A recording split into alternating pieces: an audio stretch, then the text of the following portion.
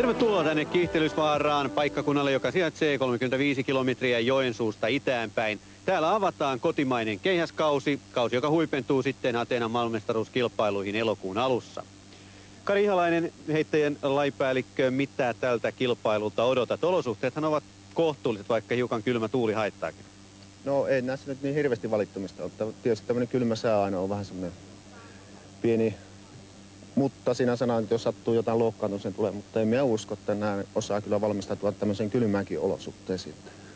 Mutta mitä mä odotan, niin mä sanon, että no yksi henkilökohtainen ennätys naisen sarjassa ja yksi miesten sarjassa, niin se on sellainen toivomus. Niin tässä vieressä on Heli Rantanen naisten kilpailun ehdoton ykkösnimi tuota ennätystä. Joo. Tuskin sinulta voidaan tänään odottaa, nimittäin sulla on hiukan ikävää kerrottavaa tämän hetken kunnosta. Äläs nyt noin sano. Sitä ei tiedä mihinkä sitä vetvii pienessä lämmössä ja kuumessa. Niin, olet ollut tässä sairastellut ja olet tälläkin hetkellä kuumeessa. Tietysti se herkistää varmasti paikkoja, mutta varmaan aivan parasta mahdollista valmistautumista se ei kilpailuun ole. No kyllä tämä tutina jaloissa ja kropas on muutakin kuin kilpailujännitystä, mutta tota, kyllä me yritetään taistella niin komea ilma, että kyllä tässä pitää yrittää homma hoitaa kotiin suhteellisen hyvin. Kausi on alkanut maailmalla aika mukavasti. Saksalaiset heittivät eilen tuonne lähelle 65 metriä. Sinulla leirillä keihäs lensi kulman mukaan 65 metrin aika kevyesti, eli kunnossa ei pitäisi olla vikaa. Joo, silloin tosiaan kun ollaan terveenä ja ehjänä, niin kyllä se on tekninen suoritus aika helppo silloin, mutta, tota, mutta tota, kyllä mä odotan, että maailmalla tulee tänä vuonna enemmän yli 70 heittäjää kuin pitkiin pitkiin aikoihin. Onko heistä yksi suomalainen? Kyllä mä toivon, että on. Entä tässä kisassa, mihin olet tyytyväinen? No joo, kyllä mä sen, että jos mä pystyn kisan viemään kunnolla, kunnialla läpi, niin sitten mä voin tuulettaa. Mutta kyllä se pitää kutosella tietysti alkaa, että yli 60 metrin suoritus olla, mutta tota, taistellaan. Hyvä hetken kuluttua näemme, mihinkä se keihäs lentää. Kiitos. Ja tässä sitten naisten keihäänheiton heittojärjestys. Kilpailun aloittaa Heli Rantanen. Kirsi Ahonen heittää toisena, Taina Uppa kolmantena ja Tiina Jyrkiäinen neljäntenä.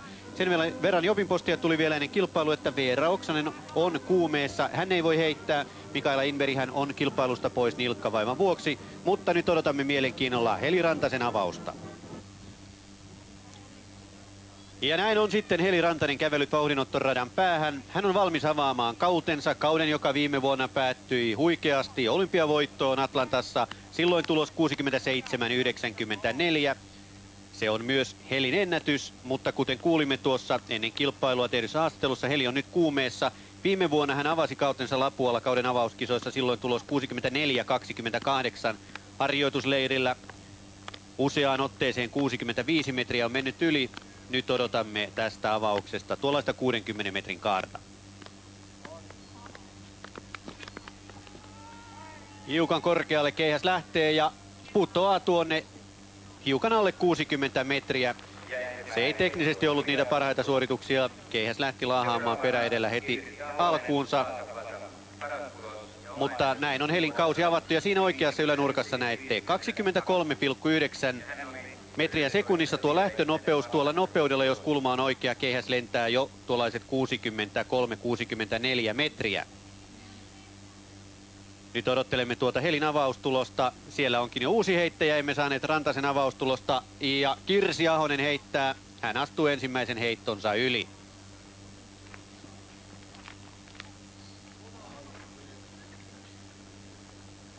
Ja tuo Helin avausheitto, se on siellä 58 metrin hujakkeilla.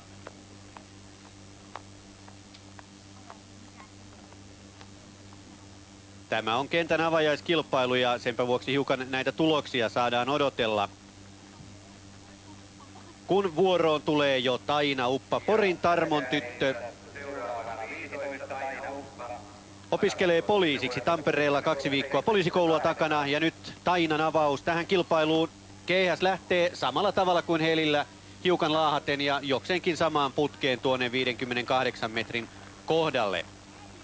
Taina Uppa heitti viime vuonna 63-78. 23 metriä sekunnissa oli tuo vauhti, eli jos oikeaan kulmaan, niin 63 metrissä oltaisiin oltu, mutta nyt tuo kulma ei ollut oikea, ja näinpä keihäs jää alle 60 metrin. Valitettavasti tuo tulospalvelu ei vieläkään toimi. 56-52 oli tuo Taina Upan tulos. Ja nyt ensimmäisellä kierroksella sen viimeinen heittäjä Tiina Jyrkiäinen. Hän tavoittelee 53 metrin rajaa, joka on 19-vuotiaiden Euroopan mestaruuskilpailujen tulosraja. Siinä on Tiinalle hyvä tavoite tähän kilpailuun. Viime vuonna hän heitti ennätyksessä 46-60, eli parannusta pitäisi tulla melkoisesti, mutta talvi on sujunut sen verran hyvin, että valmentajat pitävät tuota 53 metriä aika realistisena tavoitteena hänelle. Ainakaan tällä heitolla tuo raja ei mene rikki. Näin on naisten keihäskilpailu avattu ja ensimmäinen kierros takana. Ja näin Heli Rantanen on valmiina toiseen yritykseensä. Ensimmäisen heiton Heli astui yli. Se oli tuo alle 60 metrin tulos. Nyt odotamme häneltä 60 metrin ylitystä, vaikka lunssa onkin vaivannut. 60 metriä on kuitenkin sellainen raja, jonka alle Heli ei varmasti tällä kaudella halua jäädä. Jo ensi keskiviikkona hän suuntaa Norjaan kilpailemaan. Ja nyt keihäs lähtee jo kunnon kulmassa ja lentää tuonne 60 metrin viivalle. Viiva pöllähtää. Ja näin on tämän kentän naisten kenttäennätys sitten 60 metriä. Vielä hiukan sivusta tuo heliveto lähtee 23,7 nopeudet ovat kohdallaan. Eli kun tuo kulma saadaan paremmaksi, niin 65 metriä on aivan varmasti näillä nopeuksilla tavoiteltavissa. Ja näin on heittovuorossa toisen kerran Taina Uppa, Porin Tarmon tyttö ensimmäisellään 56-52. Ja nyt odotamme tuota 60 metrin rajan puhkaisua häneltäkin. Upan harjoitukset ovat menneet hyvin talvella ja valmennusjohto odotti häneltä hyvää kaarta ja nyt se tulee. Kenttäennätys siirtyy tällä heitolla Taina Upan nimiin, se on varmaa. Viime vuonna 63-78, viime vuosi oli Tainalle pienoinen pettymys. Vuonna 95 hän heitti ennätyksensä 66 metriä ja kuten näemme nopeus on hyvä. 23,6 metriä, eli kun tuossa saadaan keihäs oikeaan kulmaan, niin ollaan jo 65 metrissä. 61.00 Taina Upan tulos ja sillä hän siirtyy kilpailun johtoon. Näin Heli Rantanen astelee tuonne vauhdinottoradan päähän kolmannen kerran. Toisella heitollaan 60-16. Se on Helin paras tähän mennessä, mutta sillä hän on vasta toisena Taina Upan jälkeen. Mutta jos Heli saa tuon keihään lähtemään nyt oikeassa kulmassa, niin silloin kyllä ollaan jo lähellä 65 metriä. Nuo nopeudet ovat erittäin hyviä. Jyväskylän liikuntatieteellisen yliopiston kiun tutkijat ovat täällä mittaamassa noita nopeuksia.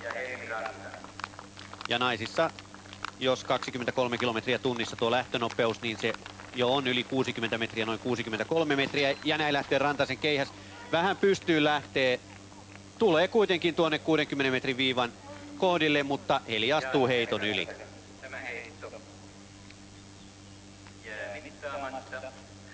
Tästä näemme tuon lähdön ja hiukan poikittain se lähtee ja liian pystyyn. Nopeus oli kyllä erittäin kova, 24,4 ja kun katson täältä taulukosta, niin tuolla nopeudella kyllä keihäs lentää jo 66 metriä. Siis silloin kun se lähtee oikeassa kulmassa.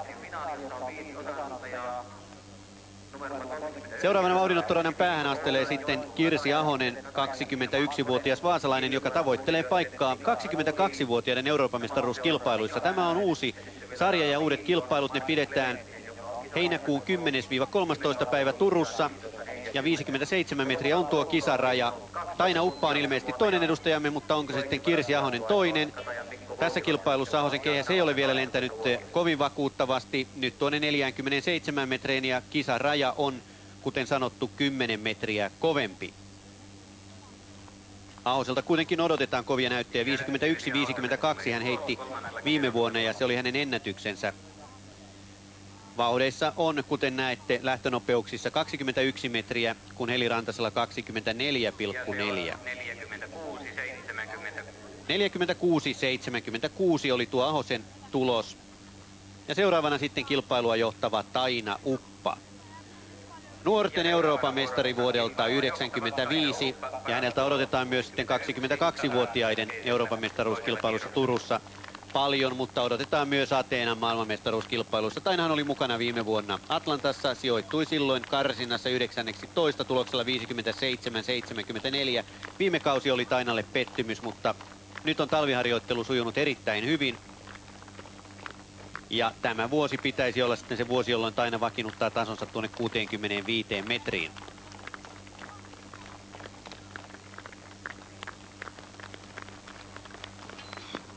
Terävästi lähtee ja matalassa kaaressa ja yli 60 metriä.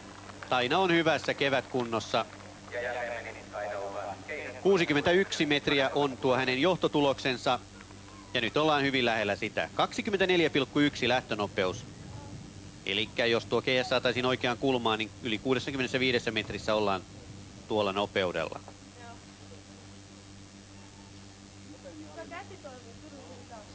Kuusikymmentä, neljäkymmentäkahdeksan.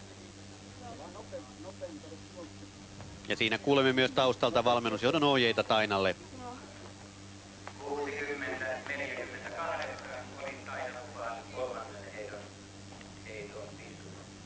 Ja seuraavaksi heittovuorossa Kouvolan urheilijoiden Tiina Jyrkiäinen.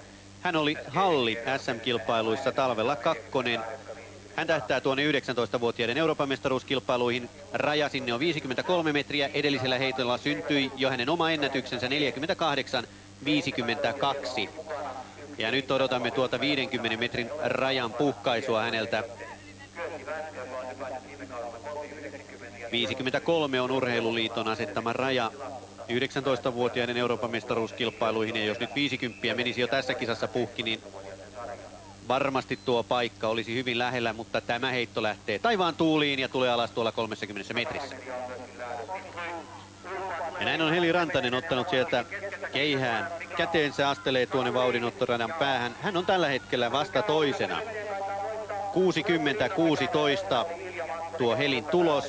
Samaan aikaan täällä kentällä käydään myös se kansallisen tason juoksukilpailu ja kenttä on komea. Kiihtelysvaara on saanut upean kentän ja siitä tietysti käy kiittäminen vapaaehtoisväkeä. Talkoot työt ovat olleet pääasiassa tätäkin kenttää rakentaessa ja se kertoo tietysti siitä voimasta, joka urheiluväen keskuudessa on. Silloin kun toimeen tartutaan, niin silloin saadaan aikaan tällaista jälkeä. Millaista jälkeä sitten tekee Heli Rantanen, se nähdään hetken kuluttua. 61 tasan on tuo Taina Upan johtotulos tällä hetkellä. Ja jos Heli saa keihään oikeassa kulmassa lähtemään, niin varmasti johtotulos ja samalla kenttäennätys siirtyy jälleen hänen nimiin. Hän otti selvästi vauhtia pois ja yrittää hitaammalla vauhdilla, mutta liian ylös lähtee tuokin heittoja, eli kävelee sen perässä. Ja näin on heittovuorossa Taina Uppa. Hänen neljäs heittonsa kaksi kertaa Taina on puhkaisut jo 60 metrin rajan. Viime vuonna kauden avauksessa Lapuolla syntyi tulos 62 metriä, nyt paras tähän mennessä 61 ja lähtee terävästi ja hyvän näköisesti keihäs nyt ja puhkoo jälleen tuon 60 metrin rajan. Taina on varmassa 60 metrin tuloskunnossa tällä hetkellä mutta johtotulos ei tällä parane. Aavistuksen verran sivu lähtee. 23,7 oli tuo nopeus. Ja nyt odotamme tulosta. Se alkaa kuutosella.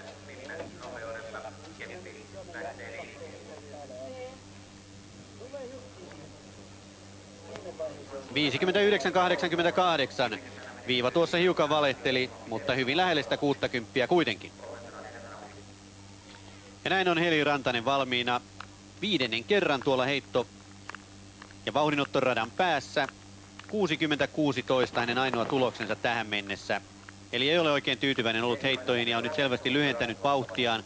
Hakee tuota oikeaa heittokulmaa sitten lyhyemmän vauhdin kautta. Katsotaan kuinka se nyt onnistuu. Nyt on tuo tuttu Sandvikenin keihäs ja aika hyvässä kulmassa lähtee ja lentää pitkälle, kyllä. Siinä on nyt tämän kilpailun johtotulos. Kuten näette, hiljainen vauhti ja sillä hän saa kontrolliin tuota heittoa. 24,7 on kuitenkin vetonopeus, eli sitten ärhäkästi tullaan siihen viivalle ja se vie keihään tuonne 62, ehkä jopa 63 metriin. Lunssainen Rantanen voi olla tyytyväinen.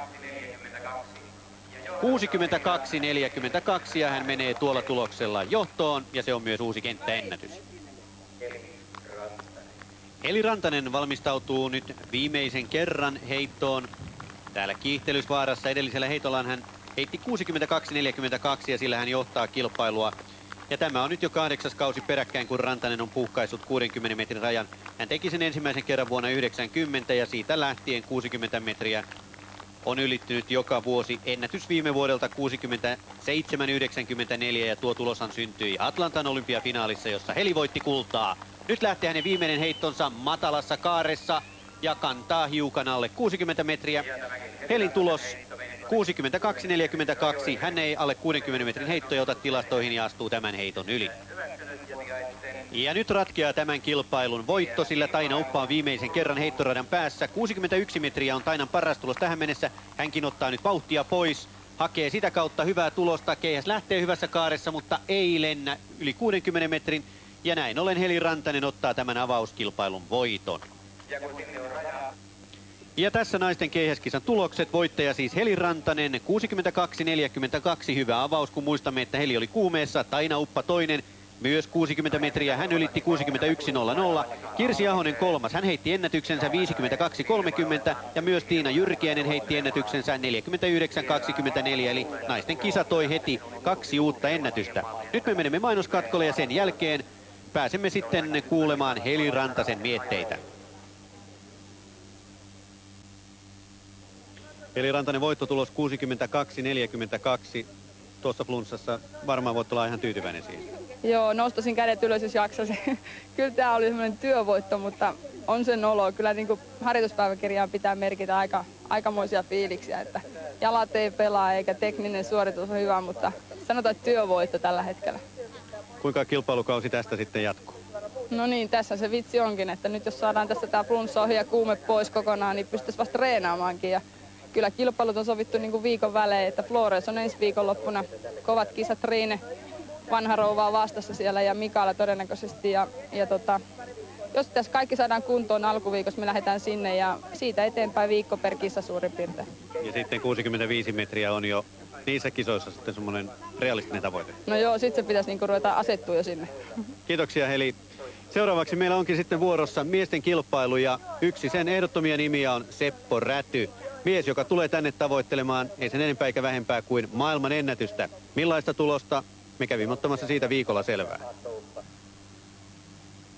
Seppo Räty jätti tullimiehen työt huhtikuun alussa ja keskittyy taas keihään heittoon. Tohmajärven karhu on nukkunut rauhalliset talviunet.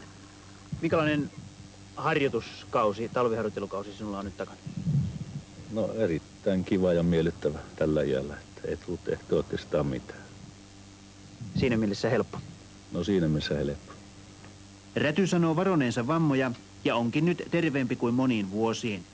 Kevään merkittävin tapahtuma on kuitenkin 35 ikävuotta ja siirtyminen ikämiesten sarjaan. Vieläkö sitä tuolla jällä lisää voimansa? Kyllä sitä saisi helpostikin, että mulla on nyt paria kolmea liikettä vaan tehnyt, kun niitä on mukava tehdä, että tuota, kerran viikkoon tehnyt kunnon harjoituksen siinä, niin koko ajan saa ennätyksiä tehdä, jos haluaa. Että ei se, ei se niinku ongelmaa. Tohmajärven kentän reunalla on yhä lunta ja rädyn heittoharjoittelu on vasta alkanut. No, lailla on sama tilanne. Ehkä on taas vähän parempi kuin viime keväänä tähän aikaan, vaikka tämä oikeastaan pääsi kun kaksi-kolme viikkoa vasta reenaamakkaan. Että, mutta yllättävän, yllättävän kova siihen näin tulosta. Sä sanoit, että heittoja on hyvin vähän takana. Mitä ne luvut on? No, pikkasen päälle kahden ja puolen tuhannen heitä saattaa olla niitä. Sehän pitäisi olla tuolla jossakin viiel, mieluummin kahdeksan tuhannen paikalla tässä. Mä olen kuullut, että sä aiot heittää maailmanennätyksen tänä kesänä. Joo, se on tämä ikämiesten maailmennys, pitää valmentaja ottaa pois. 82 risat. Muistaakseni 8262. Niin se on sovittu, että se siirtyy tänä kesänä, vaan kumpikaan ei tiedä, mihin se siirtyy. Ja näin on kaikki valmista täällä kiihtelysvaarassa. Miesten keihään heiton alkuun. Sen aloittaa Seppo Räty, mies, joka siis hakee maailmanennätystä, ikämiesten maailmanennätystä, joka yhä kirjataan luvuin 82-62. Mukana myös Matti Närhi, Aki Parviainen, Juha Laukkanen, joka avasi kautensa Japanissa heittämällä 84-34 Mika Parviainen, Harri Hakkarainen, Sami Saksio ja Kimmo Kinnunen, joka tuolla Japanissa oli myös mukana. Hänen tuloksensa siellä 82-30. Uskonpa, että voittaja täälläkin yrittää 80 metriä. Ja näin kävelee Tohmajärven karhu, lähes kotikulmillaan heittävä Seppo Räty vauhdinottoradan päähän. Seppo Räty on valmis avaamaan kauden 97. Viime vuonna Räty oli Atlantassa olympialaisissa upeasti kolmas, silloin tulos 86-98. Nyt odotamme häneltä 80 metrin rajan puhkaisua ja hurjassa kulmassa keihäs lähtee ja menee yli 80 metriä. Seppo Räty on avannut todella hienosti tämän keihäskauden. Tuo ikämiesten maailmanennätys 82-62. Se on yksi rajapyykki tässä kilpailussa tänään. 28,1 on tuo vauhti ja se on todella hyvä. Nimittäin 28,1 merkitsee sitä, että jos kulma on oikea, niin liikutaan yli 85 metrissä. Nyt tuo rädyn avaustulos on 81.06. Ja nyt on vauhdinottoradan päässä Aki Parviainen, Joensuun katajan mies. Heittää siis lähestulkoon kotikentällään viime kaudella 84-96 ennätys vuodelta 95, jolloin hän oli maailmanmestaruuskilpailussa yhdeksäs. Silloin syntyi tulos 85-60. Alicante leirissä huhtikuun alussa Parviainen heitteli 80 metrin tuloksia ja tuo 80 metriä on se raja, jota häneltä tänään odotetaan.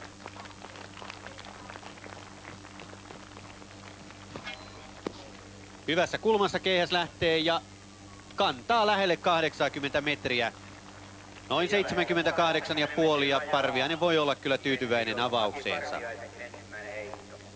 Hän on juniorien maailmanmestari vuosimallia 92 ja pitää hallussaan myös silloin syntynyttä juniorien maailmanennätystä. Sen jälkeen häntä ovat vaivanneet erilaiset loukkaantumiset ja tälläkin hetkellä nuo polvet ovat pieni onnelma. 77-92 Parviaisen avaus. 77-92. Ei, Seuraavana Juha Laukkanen, Laukkala ja 28-vuotias heittäjä, jolla on paras tulos 88-22. Ja näin vauhdinottoradan päässä Juha Laukkanen. Hän avasi kauden Tokiossa hyvällä tuloksella. 84 34 oli tuo hänen tuloksensa. Ja se on maailmantilastossa tällä hetkellä niinkin hyvä kuin kuudes. Eilen Boris Henry heitti 86-70 maailmantilaston kärjessä on Jan Selesni 94-02. Selesni on hurjassa kunnossa, mutta kyllä Laukkasenkin keihäs lentää ja lentää pitkälle. 83 metriä, lähellä 84 metriä on Juha Laukkasen avaus tänään. Pitkät yli 80 metriä. Vaikka tuo tekniikka ei paras mahdollinen ollut, kuten näimme, niin keihäs lähti aika lailla sivusta. Lähtönopeus kova 28,6.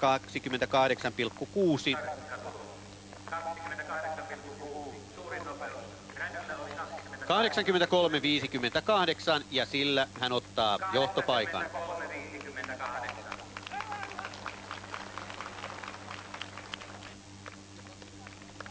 Ja näin ensimmäisen kierroksen päättää Kimmo Kinnunen.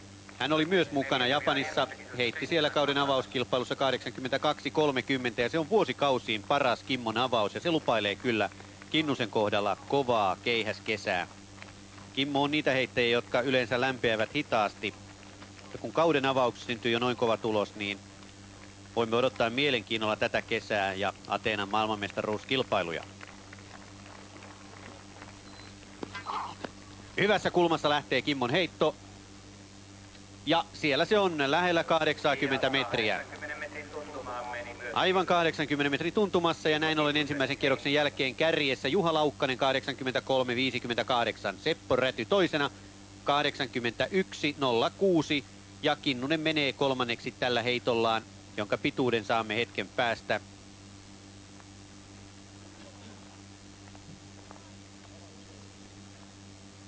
Seitsemänkymmentäyhdeksän nolla kuusi. Näin Matti Närhi valmistautuu toiseen heittoonsa ensimmäisellään 74-36. Hän avasi kautensa huhtikuussa Phoenixissa Yhdysvalloissa silloin tulos 79-44. Mutta nyt jalat menivät alta tuosta heitosta ja päätyy kuitenkin tuonne 80 metriin. Olipa harmittava juttu tuossa lopussa, jos hän oli saanut pidettyä heiton kasassa. Tästä näimme, kuinka tuo tukijalka pettää polvesta, niin silloin keihäs olisi lentänyt todella pitkälle. Siinä oli paukkuja takana pitkään kaareen. Närhi on yksi näitä miehiä, jolta tänä vuonna voidaan odottaa paljon. 79-90. Ja seuraavana Aki Parviainen 70. Ja näin vuorossa Aki Parviainen ensimmäisellään 77-92. Ja katsotaan paljonko nyt tulee lisää. Akin ennätys siis vuodelta 95, 85, 60 ja silloin hän oli maailmanmestaruuskilpailuissa yhdeksäs. Viime kaudella tuli hiukan takapakkia 84, 96. Jarmo Hirmonen valmentaa tätä Joensuun Katajan miestä.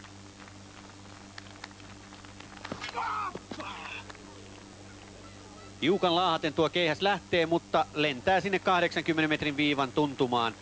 Tästä kilpailusta tulee mielenkiintoinen ja tiukka. Hän parantaa tällä hetkellä kärjessä siis Juha Laukkanen, toisena Seppo Räty, Matti Närhi kiilasi kolmanneksi, neljäntenä on Kimmo Kinnunen tuloksella 79.06.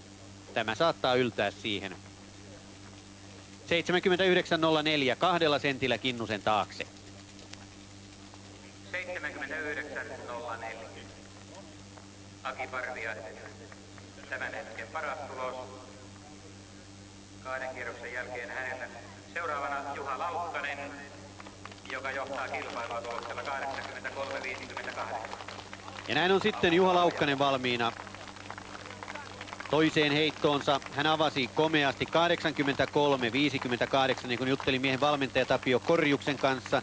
Korjus sanoi, että Juhan kohdalla nyt on kiinnitetty huomiota nimenomaan tuohon selän liikkuvuuteen. Ja nyt se on saatu kuntoon ja se näkyy heittovarmuutena ja siinä, että Juha saa tuon heiton lähtemään paremmin tuolta pään päältä eikä tuolta sivusta. Hiukan sivusta tuokin lähti, mutta lentää komeassa kaaressa ja tulee pitkälle. Tulee jälleen yli 83 metrin. Kyllä Laukkanen on varmassa kunnossa. Ja näin Seppo Räty on valmiina kolmanteen heittoonsa. Juha Laukkasen tulos oli 82-52. Seppo Rädylä paras ensimmäiseltä 81.06 ja hän on sillä hetkellä tuolla tuloksella toisena.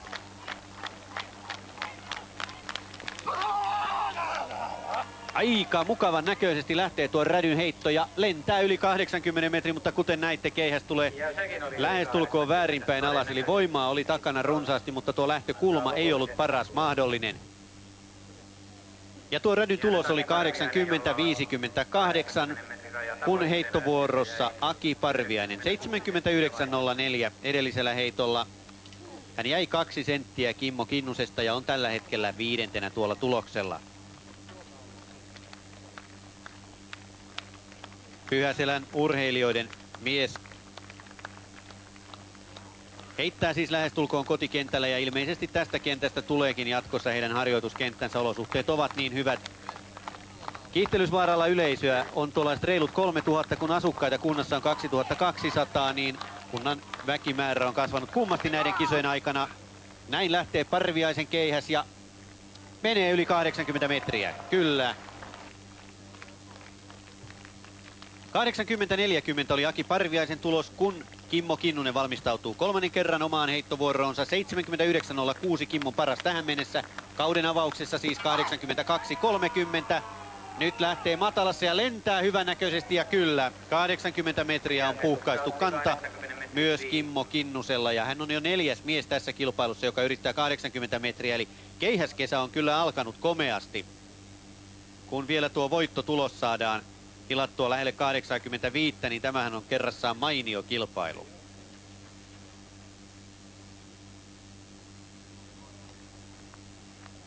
Ki- 80-16 Kinnusen tulos. Me menemme nyt mainoskatkolle ja palaamme sitten kolmelle viimeiselle kierrokselle. Ja näin kiihtelysvarran keihäskisa lähestyy ratkaisevia kierroksiaan. Seppo Räty on neljännen kerran tuolla heittoviivan takana. Räty on ylittänyt jo kaksi kertaa 80 metrin raja, mutta paukkuja, paukkuja löytyy huomattavasti pidempään kaareen. Ja nyt lähtee hyvän näköisesti ja Karjaisu on sen mukainen ja siinä se syntyi. Uusi maailman ennätys. Siitä voimme olla varmoja. Tuo heitto 82-62 on ikämiesten maailmanennätys ja sinne rajoille 83 metriin tuo menee. Lähtönopeus hyvä. 82.00. Liian aikaisin innostuin. Hiukan jäätiin tuosta maailmanennätyksestä, mutta se on Sepon paras tulos tähän mennessä. 82.00. Ja johtoheitto Laukkasella on 70 minuuttia. Ja nyt on heittovuorossa Aki Parviainen kolmannellaan 80-40 ja hän on tuolla tuloksella tällä hetkellä kolmantena. Kärjessä siis yhä Juha Laukkanen 83-58. Seppo Räty toisena 82 metriä tasan. Parviainen siis kolmantena, neljäntenä Kimmo Kinnunen 80-16 ja siinä nuo miehet, jotka ovat tähän mennessä 80 metrin rajan ylittäneet. Hyvänäköisessä asennossa lähtee keihäs ja lentää yli 80 metriä ja nyt on Laukkasen johtopaikka uhattuna ainakin tuon Rädyn kakkosia. Rädyn tulos siis 82 metriä ja Laukkasen tulos 83-58.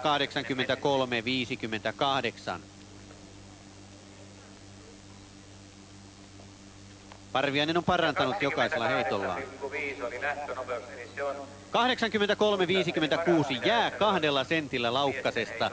Jännittävä kilpailu. Tulosin on sen mukainen 8 Ja seuraavana heittopaikalle käveleekin sitten jo Juha Laukkanen. Kaksi kertaa yli 82 metriä on Laukkanen heittänyt tässä kisassa. Kolmannen hän astui yli. Mutta miehet lähestyvät. Juha Laukkanen tuntee sen selkäytimessään. Nyt katsotaan kuinka tuo heitto pysyy teknisesti kasassa. Jos se pysyy, niin 85 metriä on Juhalle täysin mahdollinen näissä olosuhteissa. Raju on karjaisu ja keihäs lentää ja lentää pitkälle. Ja Juha Laukkanen vastasi kyllä melkein samalla. Ja siellä ollaan. Punainen mutta punainen lippu. ja nyt katsomme hidastuksesta, oliko tuo heitto rikki. Kyllä.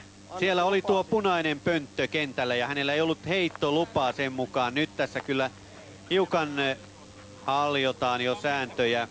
Tulos on kuitenkin hylätty, koska pönttöä ei ollut ehditty poistaa. Tuo mitataan kuitenkin tuo heitto. Ja nyt hetken kuluttua saamme tuo mitan. Siinä nyt ei...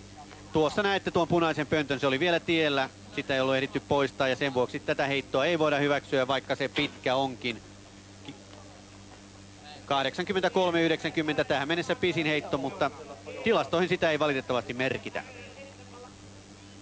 Ja nyt heittovuorossa Matti Närhi viidennen kerran vauhdinottoradan päässä 79-90 hänen parhaansa tähän mennessä. Hän oli huhtikuussa kolme viikkoa Arizonan yliopistossa. Yliopisto haluaisi Närhen sinne opiskelemaan ja samalla siis myös edustamaan yliopistoa kisoissa. Siellä syntyi tulos 79-44. Ja nyt keihäs lentää ja lentää yli 80 metriä. Hienoa, näin on Matti Närhikin avannut kautensa yli 80 täällä kotisuomessa. Viime vuonna 84-42 oli hänen parhaansa. 80 tuntuma. Ja nyt muistettakoon, että Rädyn kolmas sija on tällä hetkellä tuloksella 82.00 ja Närhi menee hyvin lähelle sitä. 81.76 Närhen tulos. Uusi mies 80.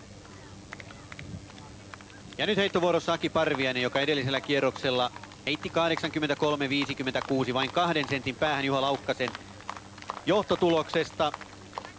Parviainen ylittänyt siis kaksi kertaa tuon 80 metrin rajan tässä kilpailussa. Mikä on hänen vastauksensa Laukkasen pitkään heittoon nyt? Matalassa kaaressa lähtee lentää yli 80 metriä, mutta ei aivan riittävästi ja Parviainen on itsekin tyytymätön tuohon heittoon. 80-44 oli Aki Parviaisen tulos, kun heittovuorossa Juha Laukkanen. Edellisellä siis Hänelle ei merkitty tulosta, vaikka tuo heitto kantoi 83-90. Juha oli sen verran hätäinen, että lähti vauhtiin ennen kuin tuota heittolupaa oli annettu. Nyt hän odottaa sitä tarkasti ja kaikki on valmista. Nyt merkkipaalu on poistettu ja näin Laukkanen voi heittoonsa lähteä. Paukkuja 85 metrin ylitykseen tuntuu kyllä Juhalla olevan.